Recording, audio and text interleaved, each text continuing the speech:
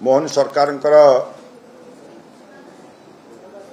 ଯେଉଁ ପ୍ରତିଶ୍ରୁତିବଦ୍ଧତା ଓଡ଼ିଶାକୁ ଆଗକୁ ନେବା ପାଇଁ ଦୁଇ ହଜାର ଛତିଶରେ ଯେତେବେଳେ ଶହେ ବର୍ଷ ପୂର୍ତ୍ତି ପାଳନ ହେବ ସେତେବେଳେ ଗୋଟେ ଓଡ଼ିଶାକୁ ବିକଶିତ ଓଡ଼ିଶା ଭାବରେ ଦେଖିବା ଏବଂ ମାନନୀୟ ଯଶସ୍ୱୀ ପ୍ରଧାନମନ୍ତ୍ରୀ ନରେନ୍ଦ୍ର ଭାଇ ମୋଦିଙ୍କର ଉଣେଇଶହ ସତଚାଳିଶ ମସିହା ଭାରତବର୍ଷର ଶହେ ବର୍ଷ ସ୍ୱାଧୀନତା ପ୍ରାପ୍ତିରେ ଯେଉଁପରି ଭାବେ ଏକ ବିକଶିତ ଭାରତବର୍ଷ ପାଇଁ ଯେଉଁ ସଂକଳ୍ପ ଯେଉଁଥିପାଇଁ ସେ କାର୍ଯ୍ୟ ଚାଲିଛି ତା ଦେହରେ କୋଅପରେଟିଭ ସେକ୍ଟରଟା ହେଉଛି ସମସ୍ତଙ୍କୁ ଗୋଟେ ବଡ଼ ସେକ୍ଟର ଯେଉଁଟାକି ଅର୍ଥନୀତିଟାକୁ ସୁଦୃଢ଼ କରିବା ପାଇଁ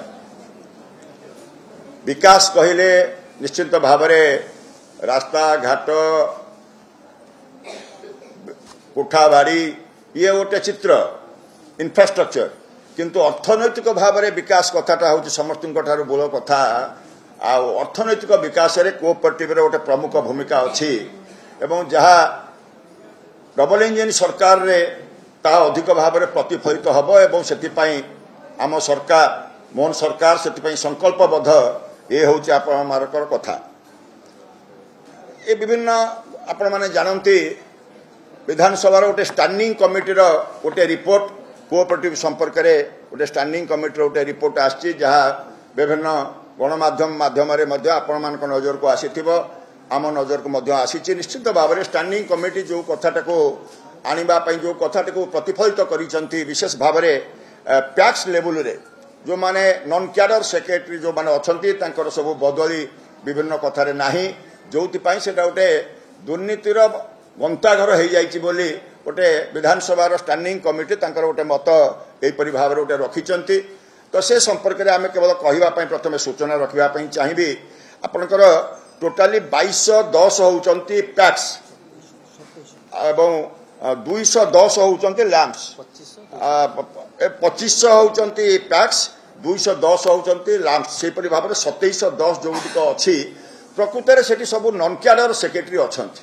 ସେକ୍ରେଟାରୀ କହିଲେ ଦୁଇ ପ୍ରକାର ସେକ୍ରେଟାରୀ ଗୋଟେ ହେଉଛନ୍ତି କ୍ୟାଡର ସେକ୍ରେଟାରୀ ଗୋଟେ ହେଉଛନ୍ତି ନନ୍ କ୍ୟାଡର ସେକ୍ରେଟାରୀ କ୍ୟାଡର ସେକ୍ରେଟାରୀଙ୍କର ଆଜିକାଲି ଆଉ ନାହାନ୍ତି କାହିଁକିନା ସେମାନେ ଅଲରେଡ଼ି ଅନେକ ରିଟାୟାର୍ଡ କରିଗଲେଣି ଆଉ ବାକି ଯେଉଁମାନେ ଅଛନ୍ତି ସେମାନେ ବ୍ୟାଙ୍କ ମାନଙ୍କରେ ଯେହେତୁ ଗଲା ବିଗତ ସରକାର ଦୀର୍ଘ ଦିନ ଧରି ରିକ୍ରୁଟମେଣ୍ଟ ପ୍ରୋସେସଟାକୁ ବ୍ୟାଙ୍କରେ ଯେହେତୁ ମାନଙ୍କରେ ହେଇନାହିଁ ତେଣୁ ଯେତିକି ଅଛନ୍ତି ସେମାନେ ସବୁ ବ୍ୟାଙ୍କକୁ ପଳାଇଛନ୍ତି ବସ୍ତୁତଃ ନନ୍ କ୍ୟାଡର ସେକ୍ରେଟାରୀଙ୍କ ମାଧ୍ୟମରେ ସବୁ ପ୍ୟାକ୍ସ ଗୁଡ଼ିକ ଚାଲୁଛି। ଏବଂ ତାଙ୍କର ବଦଳି ବ୍ୟବସ୍ଥା ନାହିଁ। ଏହା ସତ୍ୟ ତାଙ୍କର ଯେଉଁ ଯେଉଁ ବିଭିନ୍ନ କଥା ବିଭିନ୍ନ ଯେତେବେଳେ ଅଛି। ତେଣୁ ଏ ସମ୍ପର୍କରେ ଆଜିର ସରକାର ଅତ୍ୟନ୍ତ ଗୁରୁତର ସହକାରେ ଏ ସମ୍ପର୍କରେ ବିଭାଗ ବିଚାର କରୁଛି ଏବଂ ତାକୁ କିପରି ଭାବରେ ପ୍ୟାକ୍ସଟା ହେଉଛି ଆପଣଙ୍କର ମୂଳ ଜାଗା ଯେଉଁ ଜାଗାଟାରେ ବର୍ତ୍ତମାନ ଯେଉଁ ଲୋକଙ୍କର ସ୍ୱାର୍ଥ ନିହିତ ଅଛି ସାଧାରଣ ଲୋକ ଯେଉଁମାନେ ଚାଷୀ ସେମାନେ ସଭ୍ୟ ହୋଇଛନ୍ତି। ଯଦିଓ ସମସ୍ତ ଚାଷୀ ସଭ୍ୟ ହୋଇନାହାନ୍ତି ସମସ୍ତ ଲୋକ ସଭ୍ୟ ହୋଇନାହାନ୍ତି କିନ୍ତୁ ଯେଉଁମାନେ ସଭ୍ୟ ହୋଇଛନ୍ତି ସେମାନଙ୍କର ତା ଦେହର ଅର୍ଥନୀତିଟା ତାପରେ ଯୋଡ଼ି ହୋଇକରି ଅଛି। ଆପଣମାନଙ୍କୁ ମୁଁ କହିବା ପାଇଁ ଚାହିଁବି ଏଇ କଥାଟାକୁ ବିଗତ ଦଶ ବର୍ଷ ଭିତରେ ଯେଉଁ ଆମର ନରେନ୍ଦ୍ର ମୋଦିଙ୍କର ଯଶସ୍ୱୀ ପ୍ରଧାନମନ୍ତ୍ରୀ ନରେନ୍ଦ୍ର ମୋଦିଙ୍କ ନେତୃତ୍ୱରେ ଯେଉଁ ସରକାର ଆସିଛି ସେ ସରକାର ବିଗତ ବର୍ଷମାନଙ୍କରେ ସମବାୟ ସମିତି ଗୁଡ଼ିକ କମ୍ପ୍ୟୁଟରକରଣ ଏବଂ ଡାଟାବେସ୍ କରିବା ପାଇଁ ଏ କଥାଟାକୁ ଅତ୍ୟନ୍ତ ଗୁରୁତ୍ୱ ଦେଇଛନ୍ତି ଏବଂ ବିଶେଷ ଭାବରେ ଆପଣ ଜାଣିଛନ୍ତି ସମଗ୍ର ଭାରତ ବର୍ଷରେ କୋଅପରେଟିଭ ସେକ୍ଟରଟାକୁ ଅଧିକ କ୍ରିୟାଶୀଳ କରିବା ପାଇଁ ଲୋକଙ୍କର ଭରସା ଯୋଗ୍ୟ କରିବା ପାଇଁ ଆଜି ଅମିତ ଶାହ ଅମିତ ଭାଇ ଆଜି କେନ୍ଦ୍ରରେ କୋଅପରେଟିଭର ହେଉଛି ଦାୟିତ୍ୱରେ ମଧ୍ୟ ଅଛନ୍ତି ଏବଂ ସେହି ସମୟରୁ ସେ ଦାୟିତ୍ୱ ନେବା ପରଠାରୁ ଏ ଦଶ ବର୍ଷ ଭିତରେ କେନ୍ଦ୍ର ସରକାରଙ୍କ ତରଫରୁ ସୋସାଇଟି ଗୁଡ଼ିକ କମ୍ପ୍ୟୁଟରକରଣ କରିବା ପାଇଁ ଡାଟାବେସ୍ କରିବା ପାଇଁ ସେ ପ୍ରକ୍ରିୟା ଆର୍ଥିକ ଅନୁଦାନ ବିଭିନ୍ନ ସମୟରେ ଆସିଛି। ଯଦିଓ ବିଗତ ରାଜ୍ୟ ସରକାର ଏ ପ୍ରକ୍ରିୟା କେଉଁଠି କେଉଁଠି ଆରମ୍ଭ ହୋଇଛି କିନ୍ତୁ ଆଜିର ଦିନ ପର୍ଯ୍ୟନ୍ତ ସାମଗ୍ରିକ ଭାବରେ ରାଜ୍ୟରେ ଯେତେ ସବୁ ପ୍ୟାକ୍ସ ଅଛି ବା ଲ୍ୟାମ୍ପସ୍ ଅଛି ସବୁଗୁଡ଼ିକ କମ୍ପ୍ୟୁଟରାଇଜ ମଧ୍ୟ ହୋଇପାରି ନାହିଁ। ତେଣୁ ୟା ଉପରେ ନିଶ୍ଚିନ୍ତ ଏ ସରକାର ନିଶ୍ଚିନ୍ତ ଭାବରେ ଆମ ସରକାର ଅତ୍ୟନ୍ତ ଗୁରୁତ୍ୱ ଦେବ ଏବଂ ସେଇଟାକୁ ଆପଣମାନେ ଜାଣିଛନ୍ତି ସୋସାଇଟି ଲେବୁଲରେ ମୂଳ କଥାଟା ହେଉଛି ଗୋଟେ ଛୋଟିଆ ଶବ୍ଦ ଅଛି ପିଟି ପେପର ଟ୍ରାଞ୍ଜାକ୍ସନ୍ ଯେଉଁଥିରେ ସମସ୍ତ କଥା ଗୁଡ଼ିକ ବ୍ୟାଘାତର ମୂଳ କଥା ହେଉଛି ଯିଏ ଋଣ ନେଉଛି ଆଉ ସେ ଋଣ ପରିଶୋଧ ନ କରି ଆଉ ଥରେ ତା ନାଁରେ ଋଣ କରିକି ତାକୁ ଆଡଜଷ୍ଟ କରିବା। ଏଇ ଯେଉଁ ପ୍ରକ୍ରିୟାଟା ଅଛି ୟାକୁ କିପରି ଭାବରେ ଦୂର କରାଯାଇପାରିବ ସେଥିପାଇଁ ମାନନୀୟ ମନ୍ତ୍ରୀ ଅତ୍ୟନ୍ତ ଗୁରୁତର ସହକାରେ ବିଭିନ୍ନ କାର୍ଯ୍ୟକ୍ରମ ଜାରି ରଖିଛନ୍ତି। ବିଭାଗ ସେହି ସମ୍ପର୍କରେ ଘଟଣା ହେଉଛି ଜାରି ଅଛନ୍ତି। ଆମର ନିଶ୍ଚିନ୍ତ ଭାବରେ ରହିବ କଥା ଯେ ପ୍ରତି ପଞ୍ଚାୟତରେ କିପରି ଗୋଟେ ଗୋଟେ ସୋସାଇଟି ହେଇପାରିବ। ଆପଣ ଜାଣିଛନ୍ତି ଆମର ଯେଉଁ ସିକ୍ସ ଥାଉଜେଣ୍ଡ ପ୍ଲସ୍ ଯଦି ଆମର ଯଦିଓ ଅଛି ପଞ୍ଚାୟତ ବର୍ତ୍ତମାନ ସମଗ୍ର ରାଜ୍ୟରେ ଅଛି କିନ୍ତୁ ବର୍ତ୍ତମାନ ସୁଦ୍ଧା ଆମର ସତେଇଶ ଦଶ ଶହ ଦଶଟି ଥିଲାବେଳେ ପନ୍ଦରଶହ ବୟାଳିଶଟି ନୂଆ ସୋସାଇଟି ଗଠନର ପ୍ରକ୍ରିୟା ମଧ୍ୟ ଏ ସରକାର ସମୟରେ ପ୍ରକ୍ରିୟା ଅଲରେଡି ଆରମ୍ଭ ହେଇଛି ଯୋଉଟାକି ଆମେ ନିଶ୍ଚିତ ଭାବରେ ତାର ବିଭିନ୍ନ କଥା ଅଛି ରିଜୁଏଲେସନ କଥା ଅଛି ବିଭିନ୍ନ କଥା ଗୁଡ଼ିକ ଅଛି। ଆହୁରି ପନ୍ଦରଶହ ବୟାଳିଶ ସତେଇଶହ ଦଶ ଏବଂ ନୂଆ ସୋସାଇଟି ବିଭିନ୍ନ ଯୋଉ ଯୋଉ ଜିପି ମାନଙ୍କରେ ନଥିଲା ସୋସାଇଟି ପନ୍ଦରଶହ ବୟାଳିଶ ସୋସାଇଟି ସେଥିପାଇଁ କାର୍ଯ୍ୟକ୍ରମ କରିବା ପାଇଁ ହାତକୁ ନିଆଯାଇଛି। ଏବଂ ଗୋଟେ ମେଜର ଫୋକସ୍ ଆମର ରହିବ ପ୍ରତି ପଞ୍ଚାୟତରେ କିପରି ତୁରନ୍ତ ସୋସାଇଟି ଗୁଡ଼ିକ ଗଠନ ହେବ। ସୋସାଇଟି ଗୁଡ଼ିକ ଗଠନ ହେଇ ଯେଉଁମାନେ ଯେଉଁ ବର୍ଗର ମଣିଷମାନେ ପହଞ୍ଚି ପାରୁନାହାନ୍ତି ଗୋଟେ ସୋସାଇଟିରେ ସବୁ ପଞ୍ଚାୟତର ସମସ୍ତ ଯିଏ ଅଧିବାସୀ ସମସ୍ତେ ସଭ୍ୟ ନୁହନ୍ତି। ଅନେକ ଲୋକ ଅଛନ୍ତି ମଧ୍ୟ ସୋସାଇଟିରେ ସଭ୍ୟ ହେଇପାରୁନାହାନ୍ତି ତେଣୁ ସେଇ ବର୍ଗ ଯେଉଁଗୁଡ଼ିକ ବଞ୍ଚିତ ବର୍ଗ ଅଛନ୍ତି ସେମାନଙ୍କୁ କିପରି ଭାବରେ ସୋସାଇଟି ସହିତ ଇନଭଲ୍ଭ କରାହେବ ସେକୁ ମଧ୍ୟ ନିଶ୍ଚିତ ଭାବରେ ଗୁରୁତ୍ୱ ଦିଆହେବ। ଏବଂ ଖାଲି ସୋସାଇଟିରେ କେବଳ ଧାନ ପାଇଁ ଋଣ ଦେବା ଏତିକି କେବଳ ନୁହେଁ ଧାନ ପାଇଁ ଋଣ ଦେବା ଏବଂ ଧାନ କିଣିବା ଆଜିର ଦିନରେ ସୋସାଇଟି ଗୁଡ଼ିକ ପ୍ରମୁଖ ଭାବରେ ଏଇ ଦୁଇଟି କଥାରେ କେବଳ ଯଦିଓ ସମ୍ପୃକ୍ତ ଅଛନ୍ତି କିନ୍ତୁ ଆମ ସରକାର ଏ ସମ୍ପର୍କରେ ଅତ୍ୟନ୍ତ ଗୁରୁତର ଭାବରେ ଆଜିର ଦିନରେ ଆଳୁର ଯେଉଁ ଆହ୍ୱାନ ଆସିଛି ଆପଣମାନେ ଜାଣିଛନ୍ତି ଗତକାଲି ଯଦି ଆପଣମାନେ ଗଣମାଧ୍ୟମରେ ଦେଖିଥିବେ ଦୁଇ ହଜାର ମ୍ୟାଟ୍ରିକ୍ ଟନ୍ର ଆଳୁ କ୍ୱିଣ୍ଟାଲ ମ୍ୟାଟ୍ରିକ୍ ଟନ୍ର ବିହନ ଯୋଗାଇ ଦେବା ପାଇଁ ଯେହେତୁ ସରକାର ଆଜି ନିଷ୍ପତ୍ତି ନେଇଛନ୍ତି ବ୍ୟବସ୍ଥା ହେଇଛି।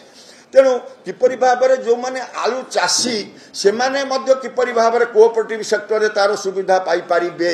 ଯେଉଁମାନଙ୍କୁ କିପରି ଭାବରେ ବିହନ ସିନା ଯୋଗାଇ ଦେବ ତେଣୁ ସେ କମ୍ପୋଜିଟ୍ ବାଟରେ କିପରି ଭାବରେ ଯେଉଁ ସମସ୍ୟା ଅଛି ତେଣୁ ସମାଧାନ କରାଯାଇପାରିବ। ତେଣୁ କେବଳ ଧାନ କିଣା ଏବଂ ଧାନ ଚାଷକୁ ଧାନ ପାଇଁ ଋଣ ଭିତରେ କେବଳ ସୀମିତ ନ ରଖାଯାଇ ବିଭିନ୍ନ ବାଟରେ କିପରି ଭାବରେ ଆମେ ସୋସାଇଟିକୁ କିପରି ଭାବରେ ବହୁବିଧ ସମିତିରେ ବହୁମୁଖୀ ସୁବିଧା କିପରି ଭାବରେ ଉପଲବ୍ଧି ହୋଇପାରିବ ତେଣୁ ୟାକୁ ମଧ୍ୟ ସରକାର ଆମର ଫୋକସକୁ ଗଠନ ଦେଇଛନ୍ତି ୟାକୁ ମଧ୍ୟ ଦିଆଯିବ। ଆପଣମାନେ ଜାଣନ୍ତି ବିଗତ ସରକାର ଷୋହଳରେ କହିଥିଲେ ଯେ ଆମେ ଏକ ଶହେ ଟଙ୍କା ଦେବୁ ଧାନରେ ବୋନସ୍। ଦେଇପାରିଲେ ନାହିଁ। ତ ଶହେ ଟଙ୍କାର ବୋନସ୍ ଦେଇପାରିଲେନି କିନ୍ତୁ ସେଇ ଆଠଶହ ଟଙ୍କା ବୋନସ୍ ଦେଇ ସେ ସୋହେଲାରୁ ମାନ୍ୟବର ମୁଖ୍ୟମନ୍ତ୍ରୀ ଉଦ୍ଘାଟନ କରିବେ ଆପଣଙ୍କର ଧାନ କିଣା ହେବାର ପ୍ରକ୍ରିୟା ଆରମ୍ଭ ହେବା ପାଇଁ ଯାଉଛି। ଆସନ୍ତା ମାସରେ ଯେତେବେଳେ ତାର ନିର୍ଦ୍ଦିଷ୍ଟ ତାରିଖ ଘୋଷଣା ଆପଣ ହେବ ଜାଣିବେ କିନ୍ତୁ ଏତିକ କେବଳ ହେଇଛି ସେ ସୋହେଲାରୁ କିଣା ହେବ। ତ ଆପଣଙ୍କ ମାଧ୍ୟମଙ୍କ ମାଧ୍ୟମରେ ମୁଁ କହିବା ପାଇଁ ଚାହେଁ ଯେଉଁ ନନ୍ କ୍ୟାରିୟର ସେକ୍ରେଟାରୀ ଯାହା ଷ୍ଟାଣ୍ଡିଂ କମିଟି କହିଛି ଆଜି ସେଟା ଦୁର୍ନୀତିର ଗନ୍ତାଘର ହେଇଛି। ମୁଁ ଆଜିର ଦିନରେ ନନ୍ କ୍ୟାଡର ସେକ୍ରେଟାରୀ ଯେଉଁମାନେ ଅଛନ୍ତି କାଲି ସକାଳୁ ଯେଉଁମାନେ ଧାନ କିଣିବାରେ ଯେଉଁମାନେ ଅନଲାଇନ୍ କରେଇବେ ଆମର ତାଙ୍କୁ ପରାମର୍ଶ ରହିବ ତାଙ୍କ ପ୍ରତି ସୂଚନା ରହିବ ତାଙ୍କ ପ୍ରତି ତାଗିଦ ମଧ୍ୟ ରହିବ ତାକୁ ସେମାନେ ସଠିକ ଭାବରେ କରନ୍ତୁ। ଧାନ କିଣିବା ପାଇଁ ଏ ସରକାରର ସମସ୍ତ ଯେଉଁମାନେ ଛୋଟ ଚାଷୀ ଯେଉଁମାନେ ନାମମାତ୍ର ଚାଷୀ ଯେଉଁମାନେ ସ୍ମଲ୍ ଫାର୍ମର ସେମାନଙ୍କୁ ଯେଉଁମାନେ ଭୂମି ଯେଉଁମାନେ ଅଛନ୍ତି ଭାଗ ନେଇକରି କରୁଛନ୍ତି ତ ସେଇମାନଙ୍କୁ ପ୍ରଥମ ପର୍ଯ୍ୟାୟରେ ପ୍ରାୟୋରିଟିରେ ସେମାନଙ୍କର ଅନଲାଇନ୍ କରିବା ପାଇଁ ସରକାରଙ୍କର ବ୍ୟବସ୍ଥା ଅଛି। କିନ୍ତୁ ଦେଖାଯାଉଛି କ'ଣ? ସେଇ ଚାଷୀମାନେ ଏହି ଅନଲାଇନ୍ ଆମର ଚାଷୀମାନେ ନିଜସ୍ୱ ଭାବେ କରିପାରନ୍ତିନି। ସେମାନେ ଡିପେଣ୍ଡାଣ୍ଟ ହୁଅନ୍ତି ସୋସାଇଟିକି ଯାଇକିରି ସେଇ ସେକ୍ରେଟାରୀମାନଙ୍କ ଉପରେ। ମୋର ଟିକେ ଘଟଣା ପୂରଣ କରିକିରି ମୋର ଏତିକି ଜମି ଅଛି ମୋର ଅଛି ତାକୁ କରିଦିଅ। କିନ୍ତୁ ସେମାନେ ଯେତେବେଳେ ବାଡ଼ାନ୍ତି ଯେତେବେଳେ ଅନଲାଇନ୍ରେ କରିବେ ଦେଖିବେ ଯେଉଁମାନେ ବଡ଼ ଚାଷୀ ଯାହାଙ୍କର ଅଧିକ ଘଟଣା ଅଛି ଯେଉଁମାନେ ସେଇମାନଙ୍କ ନାଁ ଗୁଡ଼ିକ ପ୍ରାୟୋରିଟିରେ ଥାଏ। ତେଣୁ ଯେହେତୁ ସେଇଗୁଡ଼ିକ ନାଁରେ ପ୍ରାୟୋରିଟିରେ ଥାଏ ଗୋଟେ ସୋସାଇଟିକି ଟାର୍ଗେଟ ଦିଆହେଇଛି କି ପଚାଶ କୁଇଣ୍ଟାଲ ଧାନ କିଣିବା ପାଇଁ। ତେଣୁ ଯେଉଁମାନଙ୍କର ବଡ଼ ଚାଷୀ ସେମାନଙ୍କର ଜଣେ ଦୁଇ ଜଣ ପାଞ୍ଚ ଜଣ ରହିଗଲେ ତା ପଚାଶ କୁଇଣ୍ଟାଲ ଧାନ ସେଇଥିରେ ପଳେଇଲା। ଆଉ ଯିଏ ଛୋଟ ଚାଷୀ ନାମମାତ୍ର ଚାଷୀ ସେମାନେ ଧାନ ବିକ୍ରି କରିବା ପାଇଁ ସୁଯୋଗ ପାଆନ୍ତି ନାହିଁ। କିନ୍ତୁ ନିୟମ ହେଉଛି ସେଇମାନେ ଛୋଟ ଚାଷୀଙ୍କର ଆଗ ସେମାନେ ରେଜିଷ୍ଟ୍ରେସନ କରିବେ। ଯେଉଁମାନେ ଅଛନ୍ତି ନାମମାତ୍ର ଚାଷୀ ସେମାନଙ୍କର ଆଗ ରେଜିଷ୍ଟ୍ରେସନ କରିବେ। ତେଣୁ ତାପରେ ଯେଉଁମାନେ ବଡ଼ ଚାଷୀ ଅଛନ୍ତି ସେମାନଙ୍କ ରେଜିଷ୍ଟ୍ରେସନ କିନ୍ତୁ ସେ କଥାକୁ ଯେଉଁଟା କରିବା କଥା ପ୍ୟାକ୍ସ ଲେବୁଲରେ କୁହନ୍ତୁ ଲ୍ୟାମ୍ପ ଲେବୁଲରେ କୁହନ୍ତୁ ଯେଉଁମାନେ ଅଛନ୍ତି ନନ୍ କ୍ୟାଡର ସେକ୍ରେଟାରୀ ସେ କଥା କରିବାର ବ୍ୟତିକ୍ରମ ଅନେକ ଥର ଦେଖିଛୁ। ମୁଁ ଗୋଟେ କୋଅପରେଟିଭ ସେକ୍ଟରରୁ ଆସିଛି ମୁଁ ବୁଲିଛି ଚାଳିଶ ବର୍ଷ ଧରି ମୁଁ ଦେଖିଛି ଅନେକ ଥର ଏ ବ୍ୟତିକ୍ରମ ଘଟଣାଟି ହେଇଛି। ଏବଂ ବିଗତ ସରକାର ତା ଉପରେ ମଧ୍ୟ ଯେଉଁ ଫୋକସଟା ଦେବା କଥା ଦେଇପାରୁନାହିଁ କଥା ଖାଲି କହିଲେ ହେବ ନାହିଁ ଯେଉଁ ଫୋକସଟା ଦେବା କଥା ଦେଇନାହିଁ କିନ୍ତୁ ଚଳିତ ଥର ନିଶ୍ଚିତ ନିଶ୍ଚିନ୍ତ ଭାବରେ ଏହି କଥାଟାକୁ ଅତ୍ୟନ୍ତ ଗୁରୁତର ସହକାରେ ଆମେ ବର୍ତ୍ତମାନ ଗ୍ରହଣ କରିବୁ ଏବଂ କୋଅପରେଟିଭ ସେକ୍ଟରଟା ହେଉଛି କୋଅପରେଟିଭ ସୋସାଇଟିଟା ହେଉଛି ଗ୍ରାମାଞ୍ଚଳରେ ପଞ୍ଚାୟତରେ ଗୋଟେ ଅର୍ଥନୀତିର ମୂଳ ପୁଞ୍ଜି ହେବ। ସାଧାରଣ ଚାଷୀମାନଙ୍କୁ ବିଭିନ୍ନ ବର୍ଗର ଚାଷୀମାନେ ଯେଉଁମାନେ ଅଛନ୍ତି ସେମାନଙ୍କ ପାଇଁ ଗୋଟିଏ ବୁଷ୍ଟ ହେବ ମୋରାଲ ବୁଷ୍ଟ ହେବ। ସେଥିପାଇଁ ଏ ସରକାର ଅତ୍ୟନ୍ତ ଗୁରୁତର ସହାୟକରେ କାର୍ଯ୍ୟକ୍ରମକୁ ହାତକୁ ନେଉଛନ୍ତି ଏବଂ କୋଅପରେଟିଭ ସେକ୍ଟରକୁ ଅଧିକ କ୍ରିୟାଶୀଳ କିପରି ଭାବରେ କରାଯାଇପାରିବ କୋଅପରେଟିଭ ସେକ୍ଟର ମାଧ୍ୟମରେ କିପରି ଭାବରେ ଚାଷୀଙ୍କର ସାଧାରଣ ଲୋକଙ୍କର ଅର୍ଥନୈତିକ ମାନକୁ ବୃଦ୍ଧି କରାଯାଇପାରିବ ସେଥିପାଇଁ ଏ ସରକାର ଅତ୍ୟନ୍ତ ଭାବରେ ସଚେତନ ଅଛନ୍ତି ଗୁରୁତ୍ୱ ଅଛନ୍ତି ଏବଂ ନିଶ୍ଚିନ୍ତ ଭାବରେ ଯେଉଁ ବିକଶିତ ଓଡ଼ିଶାର ଯେଉଁ ସ୍ୱପ୍ନ ଦେଖାଯାଇଛି ଆସନ୍ତା ଦଶ ବର୍ଷ ପରେ ଛତିଶ ମସିହା ବେଳକୁ ତେଣୁ ସାଧାରଣ ଗ୍ରାମାଞ୍ଚଳ ଲୋକଙ୍କର ଅର୍ଥନୈତିକର ବିକାଶକୁ କୋଅପରେଟିଭ ମାଧ୍ୟମରେ ଫୋକସ୍ ଦେବା ପାଇଁ ମାନନୀୟ ଆଜିର ଗୃହମନ୍ତ୍ରୀ ମାନ୍ୟମର କୋଅପରେଟିଭ ମିନିଷ୍ଟର ଅମିତ ଶାହା ଜୀଙ୍କର ଯେଉଁ ଆଭିମୁଖ୍ୟ ଅଛି ତାକୁ ମଧ୍ୟ ରାଜ୍ୟରେ ସଠିକ୍ ଭାବରେ କାର୍ଯ୍ୟକାରୀ କରାଯିବ।